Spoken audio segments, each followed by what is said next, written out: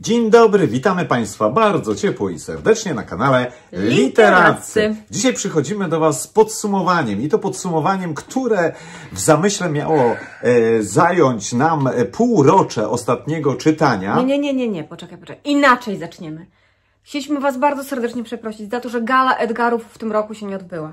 Po prostu organizatorzy w ostatniej chwili odwołali z powodu ciężkiej choroby głównej Organizatorów. Organizatorów, tak. Niestety główna prowadząca mm, nie mogła poradzić sobie ze swoim stanem zdrowia i w związku z tym to nie znaczy, że takich książek, które były wyjątkowe w tamtym roku nie było.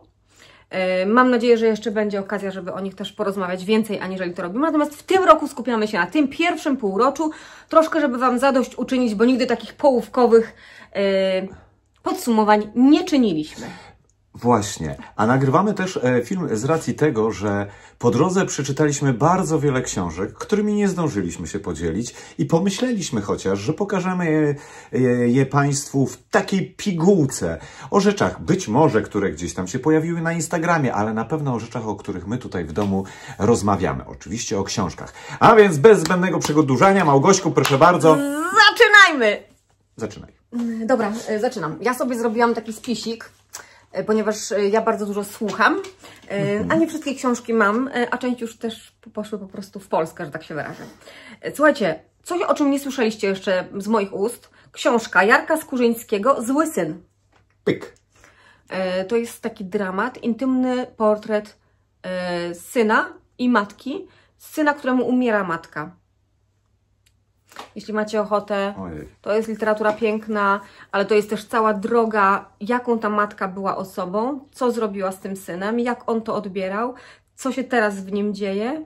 Fantastyczna lektura. Bardzo, taka po prostu chyba też kieszonkowa wydaje mi się, bo tam szybciutko to mi poszło. Rewelacja. E, John Krakauer, e, e, Eiger Wyśniony. Słuchajcie, to jest książka starsza.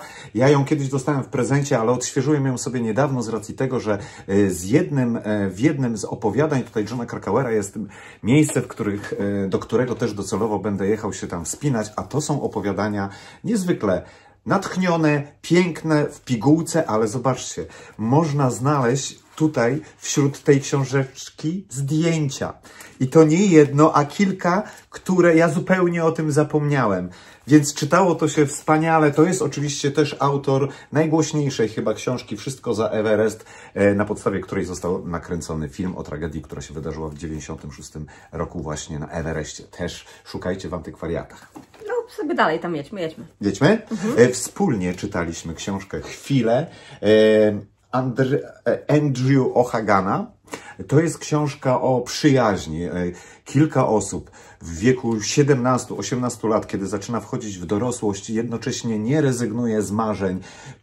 I ta przyjaźń trwa, jadą na festiwal, jeden, drugi, szarmancko żyją, aż w końcu przychodzi wiek dojrzały i niestety Trzeba się tragedia. zmierzyć z dorosłością. Tak, i oni się zmierzyli doskonale. Małgosiu, Części zamienne, Olga Balicka, oczywiście w sensie Katarzyna Wolwowicz, ale to jest kontynuacja historii o Oldze Balickiej. Oceniłam ją na cztery gwiazdki na Goodreadsie. Yy, Olga, kryminał. yy, tak, Olga chciałam powiedzieć. Katarzyna Wolwowicz ma takie skoki.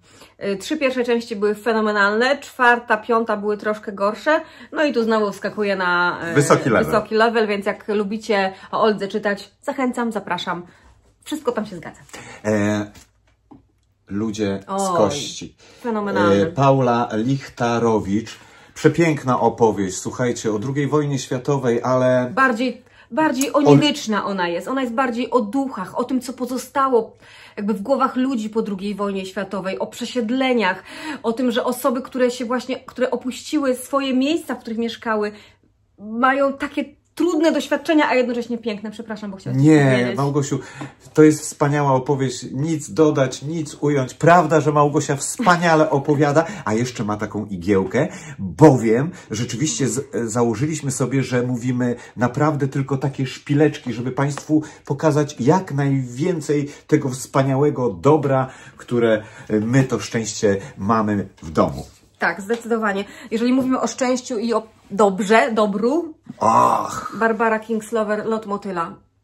majstersztyk. Barbara Kingslover to jest moja, to jest naprawdę kniga. Jak dla mnie to są, to są bardzo pokaźne. Ja nie, nie lubuję się w aż takich e, wielkich książkach, w sensie e, takiej ilości książek mnie to przeraża. Natomiast ta książka to jest genialna historia kobiety, która miała już jakiś swój tryb życia. Trochę bym powiedziała, że tak troszkę zbieżne ze mną było. Ja tu bardzo, bardzo gdzieś, gdzieś identyfikowałam się czasami z tą postacią, że miała już pewne, y, pewien schemat działania, gdzieś była w, ten, w to życie wpuszczona, w jakiś taki, wiecie, takie meandry życiowe ją zaprowadziły do jakiejś drogi, a nagle okazuje się, że dzięki jej potencjałowi, o którym ona sama nawet nie wiedziała, mogła to życie spróbować zmienić, mogła spróbować się odnaleźć na nowo. Yy, głównym i przewodnim yy, tutaj jest motyl, ale to ma też trochę takich właśnie inklinacji biologicznych, tak mówiąc już brzydko, ale chodzi mi o to, że ocieplenie klimatu i tak dalej, jak się zmienia, ale to jest tylko w tle. Mhm. Oczywiście to jest też ważne, natomiast tutaj w tej książce bardziej chodzi o zmianę, o, o, o postać głównej bohaterki, która jest skonstruowana i jest majstersztykiem. To też nie jest pierwsza książka, którą tak. czytamy tej autorki, bowiem tak. w tamtym roku czytaliśmy Dawida Copperheada. Tak, e, David był, oj, Też fenomenalna książka, jedna z najpiękniejszych i jedna z chyba z najważniejszych które czytaliśmy w zeszłym roku, więc tą tym bardziej Państwu e, polecamy. E, Małgorzata Czyńska, Witkacy i kobiety. Słuchajcie, z racji tego, że ja też pisałem teraz taką partyturę, której e, prawykonanie odbędzie się w Słupsku na Międzynarodowym Festiwalu Pianistyki, a w Słupsku, nie wiem czy Państwo wiedzą, jest muzeum, które skupia najwięcej obrazów, portretów właśnie Witkacego, więc chcąc wejść w ten nastrój i w kolory Witkacego, jak i w jego życie, rany boskie, szanowni Państwo, co to był za łobuz! Ale pięknie napisana książka, jeżeli nie mieliście Państwo jeszcze okazji, chcecie się dowiedzieć, w jaki sposób kobiety funkcjonowały w jego życiu, czy były dla niego ważne, czy też był wierny, czy też nie. Szanowni Państwo, ta książka jest dla Was, ale łobuz był straszny. Trochę pozwolę sobie, jak w Dzień Dobry TVN, nawiązać do łobuzów, ale w, w trochę bardziej, mniej trywialny sposób, a bardziej poważny. A mianowicie kolejna książka to Dlaczego nikt nie widzi, że umieram? Renaty Kim, mhm. reportażystki. Yy, bardzo dobrej zresztą, to nie jest pierwsza moja książka Renaty Kim. I to jest książka, która mm, opowiada o kobietach. To są historie kobiet, które doświadczyły przemocy y, na każdej płaszczyźnie. Y, jakie w związku z tym spotkały trudności, y, jak musiały sobie radzić. Mm, no, bardzo, bardzo, bardzo głęboka książka, dobry świetny reportaż. No, co mamy mówić? No, dlaczego nikt nie widzi, że umieram? Ten tytuł mówi wszystko. Tak, e, to też jest wspaniała książka. O. Bloom w imię miłości. To czytaliśmy jakiś czas temu i o tej książce mówiliśmy Państwu, ale chcemy ją przypomnieć, bo uważamy, że to jest bardzo ważna książka o zaufaniu, o miłości, o dorosłości, o, o podejmowaniu. Odchodzeniu. Przede wszystkim o odchodzeniu i jak, kim dla siebie najbliżsi mogą być w takich ciężkich chwilach, jak funkcjonują, jak się zachowują. To jest e, niewiarygodna, naprawdę opowieść, Szanowni Państwo, i jeżeli tylko macie okazję gdzieś zerknąć, dotknąć e, i zagłębić się w tej opowieści, to bardzo też Państwu polecamy. Dla nas trochę wstrząsające by to było. E, tak, wstrząsające, bo, bo trudne było towarzyszenie bohaterom, odchodzeniu jednego z nich. Tak. I, i, I z kolei trudne też było bycie po tej drugiej stronie, czyli tego człowieka, który towarzyszył bezpośrednio e, swojej żonie w odchodzeniu. I to było po prostu. Tak, ale też wiele rzeczy dowiedzieliśmy się z tej książki, jak funkcjonuje, kiedy podejmujesz decyzję o odejściu z tego świata, świadomie, oczywiście spełniając warunki, w jakich krajach jest to możliwe tak. i jak to po prostu e, działa. Więc. No trudna książka. Trudna książka, ale bardzo i to bardzo wartościowa. Mhm. Co tam masz? Dziennik pustki? Emiyagi? Tak, to jest, słuchajcie, nasza y, seria z żurawiem. Tak. To jest opowieść przewrotna, bowiem dotyczy kobiety, która zaczyna udawać, że jest w ciąży. I nagle z takiej szarej myszki staje się osobą w centrum zainteresowania. To trzeba powiedzieć, że to jest w, Japo w Chinach. W Japonii. W Japonii, przepraszam. Tak. To jest w Japonii, gdzie kult pracy, ona jest wykorzystywana dlatego, że ma taką, a nie inną płeć. Tak. Bo to jest też bardzo ważne. Pracuje w biurze, więc wszyscy, w związku z tym, że nie ma rodziny, więc wszyscy trochę się nią wycierają, tak brzydko mówiąc. A jak zaczyna udawać, że jest w ciąży, jakoś tak to z niej wypływa niechcąco, no to nagle jest w centrum uwagi, nagle może więcej, nagle nikt jej tak nie poniża. No, Ale jednocześnie mamy do czynienia z kulturą, którą, która jest nam obca. Kultura, która jest e, no, bardzo egzotyczna i dzięki tego rodzaju książkom też poznajemy, jak funkcjonują ludzie, na przykład właśnie w tak dalekich krajach i obcych nam troszeczkę kulturowo, aczkolwiek bardzo ciekawych jak Japonia. No to skoro y, mówimy o serii z żurawiem, to ja wyciągnęłam kolejną, bo tak pozwoliłam sobie trochę się schować. I właśnie dlatego, że szukałam kornika. To jest groza, moi drodzy Państwo, groza.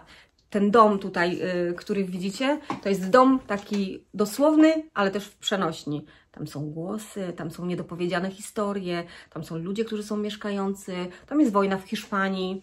I to, co się dzieje w tym domu, to jest absolutna groza. Ale świetna, kolejna świetna książeczka. Wydaje mi się, e, wiesz co tak sobie przyszło Tak, mi do tak. głowy, że któregoś wieczoru e, poopowiadasz mi jeszcze jakieś e, rzeczy, bo tak mi się pięknie Ciebie słucha. No dobra, Małgośku, ta, dawaj jeszcze jedną. Co tam byś chciał jeszcze? Tak. No to nie anioł, pana Gorzki.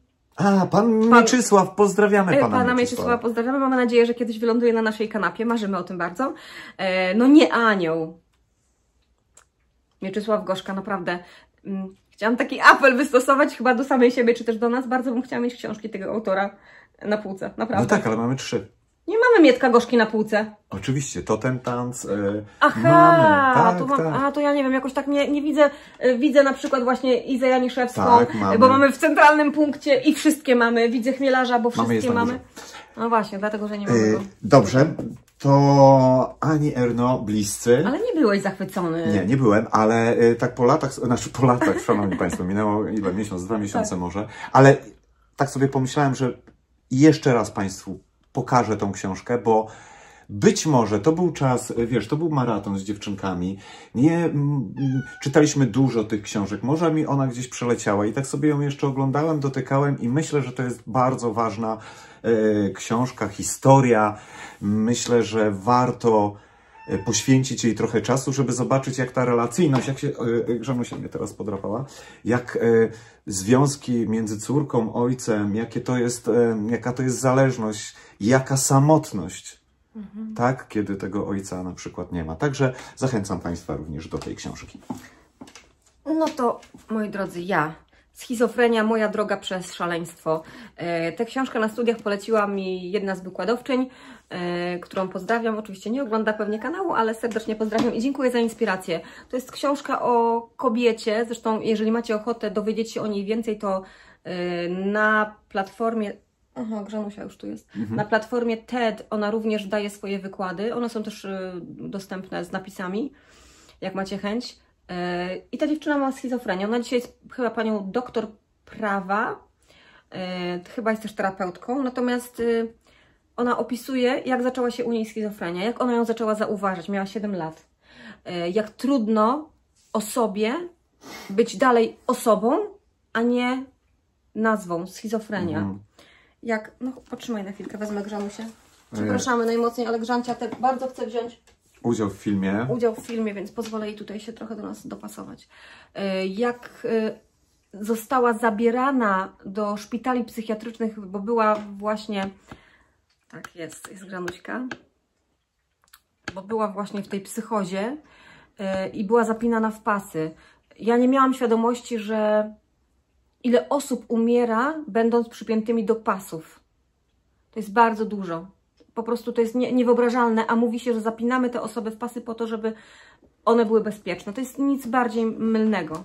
Świetna książka, jeśli takie tematy Was interesują, to ja polecam, bo to naprawdę zrobiło na mnie ogromne wrażenie. A ta dziewczyna jest dzisiaj kobieta, jest dzisiaj, przeszła całą tą drogę y, i jest doktorem prawa, czy nawet profesorką prawa. Super. Fantastyczna. E, Dwie książki pani Joanny e, Łopusińskiej warto przeczytać e, od początku, czyli warto zacząć od zderzacza, żeby później czytać najnowszą książkę pani Joasi e, Zero. Słuchajcie, to są takie, czytaliśmy je oboje te książki, to są takie troszeczkę thrillery, kryminały, ale z takim wątkiem troszkę naukowym. Matematyczno-fizycznym. Tak, gdzie zderzenie jest religii i nauki. I środowisko religii oczywiście nie chce pewnych tajemnic wypuścić, a środowisko nauki okazuje się równie być No takie skomplikowane, tam są te wszystkie zawody, kto jest lepszy, kto pierwszy odkryje i tak dalej. Czyta się to świetnie. E, To są dwie części, gdzie bohaterowie pojawiają się zarówno, znaczy bohaterowie z pierwszej części pojawiają się w drugiej części, więc warto sięgnąć po to. Gosia, e, Małgosia powiedziała, że to jest taki troszeczkę Dan Brown. Tak, ale w takim mi świetnym się, wydaniu. A mi się wydaje, że to jest lepsze. Ja akurat nie przepadam, jak wiecie Państwo, ale wydaje mi się, że to jest dużo, dużo lepsze, bo bardziej takie, że mogłoby się to wydarzyć.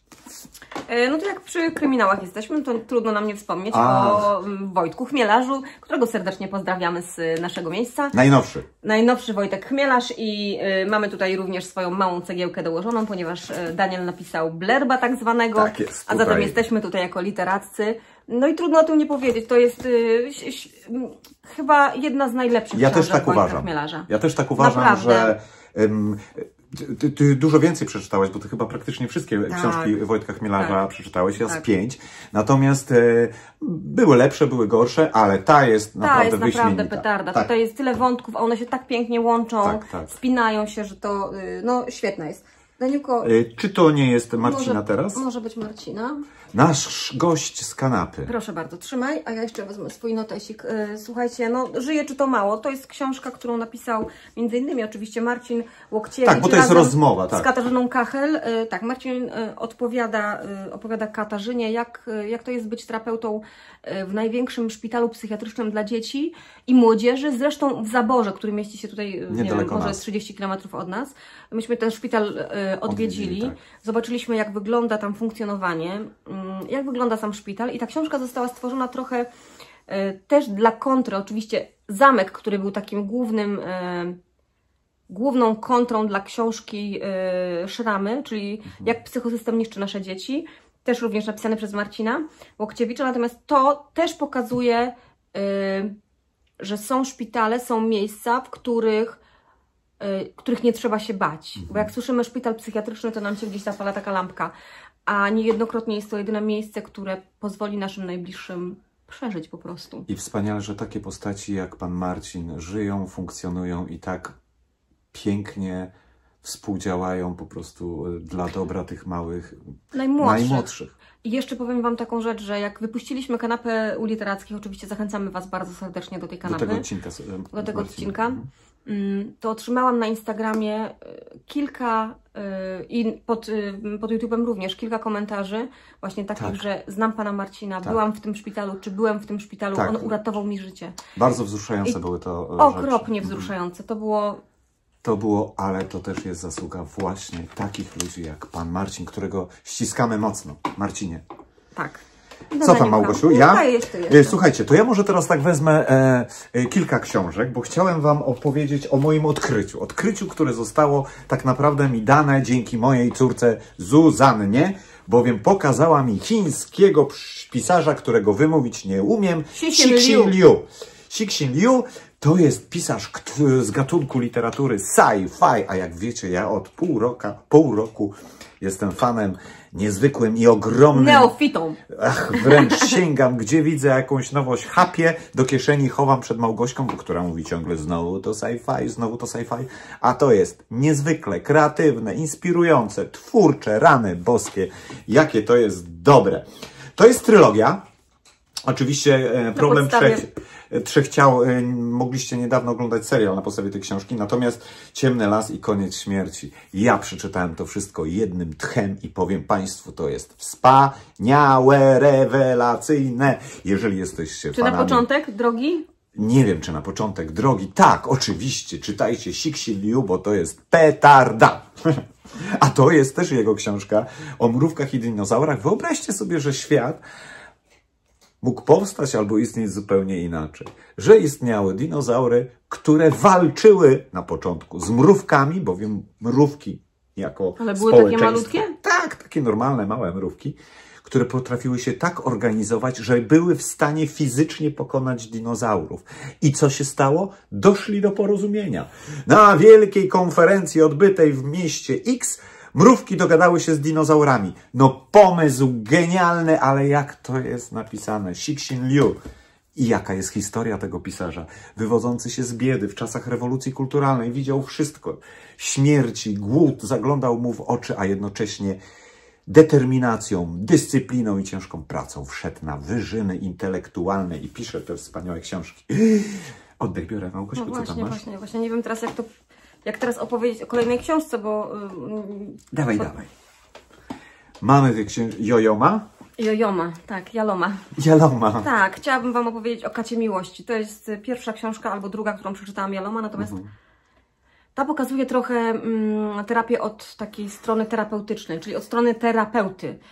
Y, a mianowicie Jalom to jest taka postać, no dla mnie taki mój idol po prostu. Tak, tak. Mamy tych książeczek rzeczywiście jego dosyć Bardzo dużo. dużo. I to jest, to jest człowiek, który ma 80 parę lat chyba, Mhm. jest dalej jeszcze terapeutą, cały czas pomaga ludziom e, znaleźć swoją ścieżkę, swoją drogę, a jednocześnie w tej książce pokazuje, oczywiście te przypadki wybrane przez niego, różne, natomiast co jest w tym najpiękniejszego, to jest to, że on trochę normalizuje zawód terapeuty, to znaczy pokazuje, że terapeuta jest człowiekiem, że to nie jest żaden Bóg, to nie jest żaden mistycyzm, to nie jest żadna nie wiadomo co, że nie, nie trzeba na niego patrzeć, wiecie, z takim wielkim podziwem. Znaczy, ja tak patrzę na terapeutów w takim znaczeniu, że po prostu no, mi, mi, mi ten zawód gdzieś tam gra w duszy bardzo mocno. A on tu pokazuje, że, że, że jest przy tym wszystkim tak ogromny pierwiastek człowieczeństwa i ludzkiego, że my możemy mieć takie odruchy, jakie, jakie mamy po prostu. No, a jeszcze jest napisane to w sposób no, genialny. To naprawdę jest dla każdego książka. Jeżeli macie ochotę trochę się dowiedzieć, właśnie jak wygląda taki proces terapeutyczny, ale bez y, jakiegoś patosu, bez jakiegoś takiego, wiecie, takich wow i och i e, ach, tylko po prostu zobaczyć, że przychodzą pacjenci do lekarza. Jak to jest? Taki lekarza oczywiście mówię. To to jest dobra droga na początek. Tak, książka na początek. Tak, świetna. No i Jalom to jest specjalista, to jest po prostu top, top of the top majstersztyk absolutny. No jak jesteśmy w trudniejszych klimatach, to pomiędzy Hadley w Lachos. Tak. I to jest historia y, dziewczyny, która jest y, pielęgniarką hospicyjną, która towarzyszy osobom umierającym i ich rodzinom y, i pomaga właśnie w tym całym procesie. I jak ten proces wygląda i co ona czuje. I że są pewne symptomy świadczące o tym, że człowiek będzie odchodził. I jakie to są symptomy? To się wydaje tak abstrakcyjne, słuchajcie, ale absolutnie wierzę, że osoba, która była przy iluś dziesięciu setkach śmierci, jest w stanie ten moment wyczuć. Że, to, że tak się to odbywa. Że się po prostu tego uczymy. Mm, Słuchajcie, no nie mógłbym e, w tym filmie nie opowiedzieć e, i nie pokazać Państwu jeszcze wielkich pozycji właśnie z literatury e, sci-fi, a mówię oczywiście o Dune. E, to wziąłem tylko trzy części, aczkolwiek jestem już na piątej części i, i tak pokrótce tylko opowiadając e, o tej książce, powiem, że jest to, e, o tyle jest to niezwykłe i tak wspaniałe jest to, że to są wielcy pisarze, tak? Cixin Liu, Herbert, to, ale są tak różni i tak opisują różno, tak bardzo inne zagadnienia dotyczące ewentualnej wizji swojej przyszłości. Herbert jest no, wielkim filozofem. E, Czasami mam wrażenie, że pisze takie e, moralitety wręcz, bo książki są pisane, jeżeli Państwo nie mieli okazji, e, każdy rozdział jest zapoczątkowany jakimś albo traktatem, albo wersem, fragmentem pamiętnika, dziennika, tudzież jakiejś idei, która przyświecała w danym czasie. No jest to wspaniała podróż. Nie wszystkie to, te części są lekkie, bowiem czwarta część była bardzo, bardzo e, ciężka, natomiast no jest to fantastyczna przygoda i jeśli macie Państwo chęć, to e, zachęcam po sięgnięcie e, do książek Herberta, do właśnie świata Duny. To moi drodzy, ja o tej książce też jeszcze nie mówiłam, bo jakoś się nie złożyło. Natomiast to jest. Jagenberg. Tak, właśnie nie wiem, jak, czy może la, czy ja, no właśnie nie wiem, jak to się, Ja. jak się, dobra. Szczegóły. To jest mikro opowieść, w ogóle zamknięta w takim, ja, ja, ja, w takim drobiażdżku, w gorączce. Gorączka głównej bohaterki powoduje to, że ona sobie zaczyna, na chwilę zostaje unieruchomiona i ona zaczyna sobie przypominać postaci, które były w jej życiu e, w jakiś sposób szczególne. E, I autorka stawia nam pytanie, co zresztą jest napisane na okładce z tyłu. Autorka stawia nam pytanie, czy kto jest ważniejszy? Osoba portretowana, czy ten, kto portretuje? Żeby spojrzeć na to z dwóch stron. No i tutaj trochę tą osobą portretowaną, mam wrażenie, są postaci, które się przewijają w życiu naszej głównej bohaterki, o których ona opowiada, a, a portretowanym, a malującym jest właśnie ta główna bohaterka. Y, to jest tak Subtelne? subtelne, to jest tak, tak, kieszon, ja, ja, ja nie znam tych wszystkich określeń, żeby tak Was jakoś poprowadzić przez tą historię, ale tutaj są naprawdę y, wspaniałe, lekko napisane, w taki, w taki bardzo, no widzicie, pokazuję Wam coś, co mam na dłoni, czego nie widać, bo taka jest ta książka. Może ulotne? No może ulotne trochę, ale, ale też bardzo prawdziwe, bardzo, bardzo osadzone w rzeczywistości y, historie. Świetne. No dygot y, Małeckiego. Jakub Małecki, panie Jakubie, też pozdrawiamy Bardzo ciepło. serdecznie pozdrawiamy. Y, Niesamowita historia. Postać z, z okładki to jest właśnie tytułowa postać y, z książki. Y, Albinos, nie wiem, osoba biała, nie wiem jak teraz opowiedzieć, żeby to było poprawniej, żeby nikogo nie, nie zranić, ale chyba, chyba tak można to powiedzieć. I jego trudne życie i to co, to, co go spotkało, wstrząsające, mocne, ym, no naprawdę wzbudzające takie emocje, jak można zrobić drugiemu człowiekowi taką krzywdę.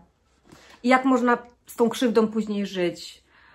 Jak ją jednak wyjść w jakiś sposób. No niesamowite rzeczy, które, które się dzieją w tej książce i udowadniają tylko to, że Małecki jest naprawdę Wybitnym pisarzem. Mhm. Wiecie, co nam powiedział inny pisarz niezwykle e, znany, niezwykle popularny i poczytny? E, Remigiusz Mróz powiedział nam, że Jakub Małecki to jest jeden dla niego z najważniejszych obecnie żyjących polskich pisarzy. No, tak, polskich pisarzy. polskich kropka. pisarzy, kropka. Tak, my się też z tym zgadzamy. Mm, No, naprawdę. No i co, mam jeszcze dla Was, wszyscy tak jeżdżą, reportaż. Coś mało reportaży było chyba tutaj. tak Ale ja zaraz jeszcze też powiem, bo właśnie też... E, reportaż Bart, Bartosza Józefiaka. O tym, co A, się tak, dzieje. o, rozmawialiśmy dosyć obszernie, to o znaczy tym, co się dzieje, tak, co się dzieje, jak prowadzimy auto, jacy jesteśmy, dlaczego są wypadki. Tutaj są historie osób, które, y, które mm, spowodowały wypadki śmiertelne. Są rodziny, które dotknęła ta tragedia z jednej i z drugiej strony. Y, Naprawdę, jak niewiele potrzeba do tego, żeby nie powiem kogoś, że- żeby po prostu spotkała nas taka tragedia. O, może tak, żeby nie mówić tutaj jakichś takich wielkich rzeczy. Żeby spotkała nas tragedia będąc po jednej albo po drugiej stronie, bo to jest tragedia dla obu stron. Niesamowita książka, świetny reportaż, naprawdę rasowy, no co mam powiedzieć. I ja- może dzięki niemu y, trochę wszyscy zwolnimy. Jak Oby tak. przeczytam. Jeszcze raz chciałem Państwu tylko powiedzieć o najnowszej książce e, pani Bernadette MacDonald. To jest książka, która. To jest pisarka, która opisuje w ogóle sytuację górską, z literatury górskiej. Jest to jedna chyba z najwybitniejszych w ogóle pisarek. Jej najnowsza książka dotyczy szerpów, o tym, jak byli pomijani w historii zdobywania największych gór i jak zwykle jest cały kontekst polityczny, geograficzny i y, ich ta Tak, relacyjność. Właśnie to jest w y, niej fantastyczne, że ona nie skupia się tylko na y, li wspinaniu. Tak, tak, I tylko, ten, tylko ona tak rzeczywiście ba bardzo rzetelnie podchodzi do tego, co się dzieje naokoło. Y, tak, Jedna, jedna z moim zdaniem z. Mhm. najwybitniejszych postaci, jeżeli chodzi o pisanie książek e, górskich, a ta literatura górska w dzisiejszych czasach myślę, że przeżywa poważny kryzys, bowiem każdy, kto wszedł, już pisze tą książkę i, i czasami są to po prostu pozycje mniej wartościowe. Słuchajcie, moi drodzy, szanowni państwo, no tyle udało nam się w pigułce e, wam przekazać. No, tylko tak się spieszyliśmy, nie? No tak, ale Małgosia już jedzie e, zaraz na studia. My, ja jadę po Toleczkę, która wraca z wycieczki szkolnej. Za chwilę muszę też usiąść jeszcze do pisania.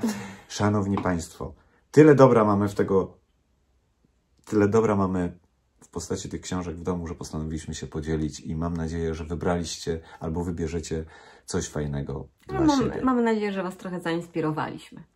Po prostu. Dobra, to co? Żegnamy się z Wami. Trzymajcie się ciepło. Trzymajcie się zdrowo. Cześć. Cześć.